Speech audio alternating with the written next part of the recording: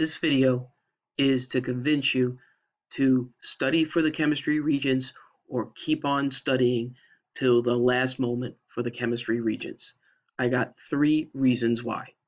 So let's go over them right now. The very first one is that most students find chemistry is a more difficult subject than bio. It's harder to imagine what's going on as far as atoms, molecules, ions, subatomic particles. We see cause and effect with physical and chemical changes and reactions, but that's on a big scale. It's hard to see what's going on on the small scale. Second reason, the chemistry regents this year for June 2019 is the last exam you're going to take. Classes end, you start exams. The Friday before going into the weekend of the chemistry regents. you have your typically your math exam. Well, either if you're taking geometry or algebra 2, so you're going to be worried about that the week before.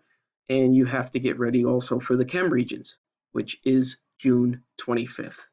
The third reason has to do with the conversion chart for the chemistry regents. and I want to compare that here to the living environment chart. Last year, your bio teacher might have been pushing you to study, and maybe it did, maybe it didn't. And you said, ah, not a big deal. I got my 75. I, I wasn't even close to failing. I want us to take a look at what percent of questions you had to get right in order to get a 65, a 75, and an 85 on the bio regents. Here they are.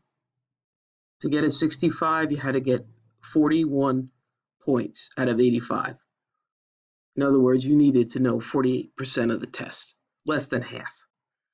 To get a 75, which sounds fairly decent, even Jake would agree, you needed to know 61% of the questions, less than the traditional 65% when you're passing a test. In order to get an 85 on the test or higher, which is considered mastery, you had to earn 66 out of 85 points or 78%. Let's check out chemistry. For chemistry, the first thing I want you to notice, there are two 64s on this scale. That doesn't happen every chem regents, but it happens a lot. So you might get your report card back and go, man, I got a 64 and my teacher couldn't find me a point. Well, you know what? It might be more than one point. It might be two.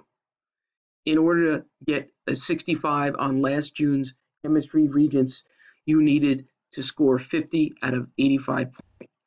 That means for that 65, you needed to know 59% of the questions.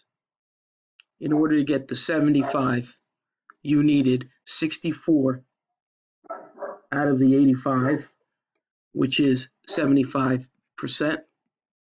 So no break there. And then for an 85, you needed to know 75 out of the 85 points, 88%.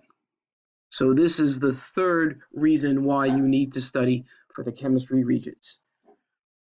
So as you get, do better, notice that you need to know more than what your scaled score is going to show. It's not impossible. You can do it. That's why your chemistry teacher keeps telling you to study. Work hard. Good luck.